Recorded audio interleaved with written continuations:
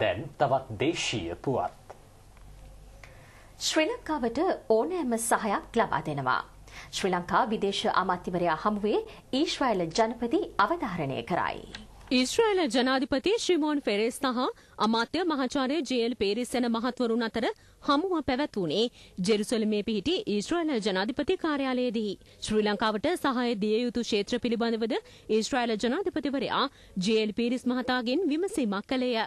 ඒ අනුව ජලය සම්බන්ධයෙන් ඊශ්‍රායලය සතුව පවතින විශේෂඥ දැනුම ලබා දීමටද ශිමෝන් මහතා එකඟත්වය පළ කළේය.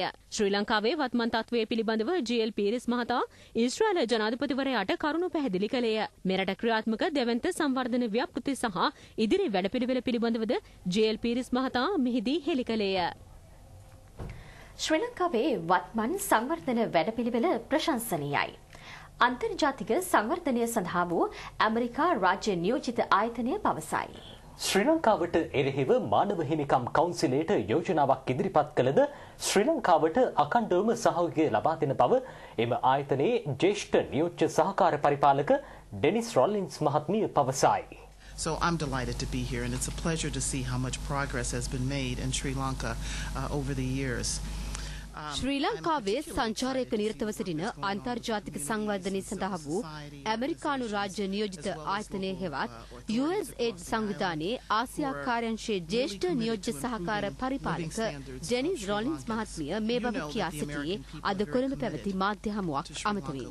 ත්‍රස්තවාදය නිමා කිරීමෙන් පසු ශ්‍රී ලංකාව ප්‍රශස්ත සංවර්ධන ක්‍රියාදාමයක නිරතව සිටී. එම වැඩපිළිවෙලට අකණ්ඩව පූර්ණ සහාය ලබා දෙන බව ඇය ප්‍රකාශ කළාය. මෙම මූල්‍ය වර්ෂයේදී පමණක් ඇමරිකානු ඩොල මිලියන 13ක් ශ්‍රී ලංකාවේ සංවර්ධන ව්‍යාපෘතිවලට යෙදවීමට ඇමරිකාව සූදානමින් සිටී. දිවයින පුරා ක්‍රියාත්මක සංවර්ධන වැඩපිළිවෙල තමන් සියසින්ම දැකගත් බව පවසන ඇය තමන් ඒ පිළිබඳ සෑහීමකට පත්වන බවද කියා සිටියාය. එමෙන්ම එම සංවර්ධන ව්‍යාපෘති ක්‍රියාත්මක කිරීම සඳහා අදාළ රජයේ නිලධාරීන්ගේ සහ ආයතනවල කැපවීමද ඇය මෙහිදී අගය කළාය. contribute to Sri Lanka's development long term and ensure that it's sustainable. පාසල් ළමයින් ක්‍රීඩා තරග සඳහා සහභාගී කරවීමේදී ශාරීරික යෝග්‍යතාව පිළිබඳ පරීක්ෂාවට ලක් කරන්න ජනපති අධ්‍යාපන අමාත්‍යංශයට උපදෙස් දෙයි. පාසල් ළමයින් ක්‍රීඩා තරග සඳහා සහභාගී කරවීමේදී ඔවුන්ගේ ශාරීරික යෝග්‍යතාව පිළිබඳව ඇගීම සඳහා විධිමත් සැලසුමක් සහිත වැඩපිළිවෙලක් ක්‍රියාත්මක කළ යුතු බව ජනාධිපති මහින්ද රාජපක්ෂ මැතිතුමා අද පෙරවරුවේ අධ්‍යාපන අමාත්‍යංශයට දැනුම් දී තිබේ. අරනායක උස්සාපිටිය රිවිසඳ මහාවිද්‍යාලයේ පැවති වාර්ෂික නිවාසන්තර ක්‍රීඩා උළෙලේදී සිසුවියක් මියාමේ සිද්ධිය සහ මේ වසරේ සිදු වූ තවත් එවැනි විසිදුවීම් දෙකක් පිළිබඳව අවධානය යොමු කරමින් ජනාධිපතිතුමා මෙම උපදෙස් ලබා දී තිබේ. ඒ අනුව අධ්‍යාපන අමාත්‍යංශය, පළාත් අධ්‍යාපන අමාත්‍යංශය, ක්‍රීඩා අමාත්‍යංශය හා සෞඛ්‍ය අමාත්‍යංශය ඇතුළු ආයතනවල සම්බන්ධීකරණයෙන් එම ක්‍රියාවලිය සිදු කරන ලෙස රාජපක්ෂ මැතිතුමා දැනුම් දී තිබේ. ක්‍රීඩා තරඟ සඳහා සහභාගි කරවීමේදී පාසල් ළමයින් සඳහා ශාරීරික යෝග්‍යතාව පරීක්ෂා කිරීමේ අවශ්‍යතාව ක්‍රීඩා වෛද්‍ය ආයතනයේ අධ්‍යක්ෂ ජෙනරාල් මහාචාර්ය අර්ජුනද සිල්වා මහතාද පෙන්වා දුන්නේය. අවස්ථාවක් එනකන් බලාගෙන නැතුව මේක ක්‍රීඩා කරන්න යන ළමයින්ගේ වෛද්‍ය පරීක්ෂණයක් කරලා ඊට පස්සේ ක්‍රීඩා කරන එක තමයි වඩා හොඳ. වෛද්‍ය පරීක්ෂණය කරන්න ඉස්සර ප්‍රශ්න මාලාවක් තියෙනවා මේ වෛද්‍යවරයා මේ ක්‍රීඩකයන් අහන්න තියෙන එකක්. ජාත්‍යන්තර ප්‍රමිතියක් අනුව ඒකත් අපි ඒක ලියවිල්ලත් බාර දීලා තියෙනවා. පරීක්ෂණයට අමතරව ECG පරීක්ෂණයකුත් කරන්න පුළුවන් හොඳයි. මොකද වෛද්‍ය පරීක්ෂණයට අහු වෙන්නේ නැති ඒවා තියෙනවා. ඇතැම් මාධ්‍ය තම දේශපාලන දිවියට එරෙහිව එල්ල කරන අභූත චෝදනා බැහැර කරනවා. ජීවිත පරිත්‍යාගයෙන් රැකගත් දේශපාලන කීර්තිනාමය මාධ්‍යවලට විනාශ කරන්නට ඉඩ දෙන්නේ නැහැ. අමාත්‍ය මෛත්‍රීපාල සිරිසේන මහතා සිය පුත්‍රයා සම්බන්ධයෙන් මෙවන විට පැන නැගී ඇති සිද්ධිය පිළිබඳව මාධ්‍යයට කරුණු හෙළි කරයි.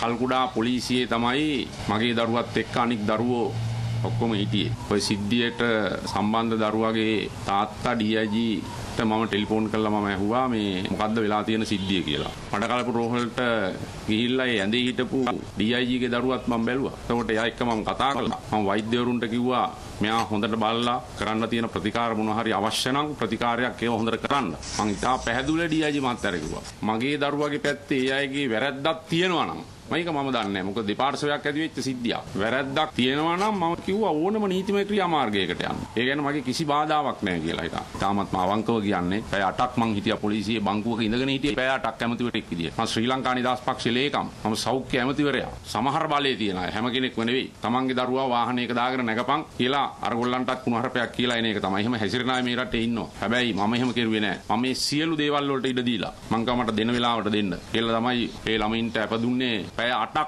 ඉඳගෙන ඉඳලා රෑ දෙකට තමයි මං ඉතනින් ආවේ. කවුරුන් කෙසේ කොහොම කිව්වත් මට හැම දරුවෙක්ම එකයි. මගේ දරුවත් DIGගේ දරුවත් මේ රටේ සියලු දරුවෝ මට එකයි. මම මගේ ජීවිත පරිත්‍යාගයෙන් මේ දේශපාලනය කරන කෙනෙක් එදත් අදත්. හරිම කනගාටු වෙනවා. මගේ දරුවා කිසි දවසක මේ අගමැති කතාවක් කිසිම තැනක කියන කෙනෙක් නෙවෙයි.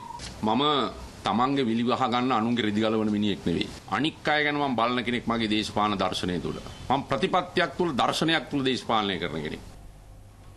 බේබිරාමෙන් අනතුරු විදෙස් පුවත් බලාපොරොත්තු වන්න.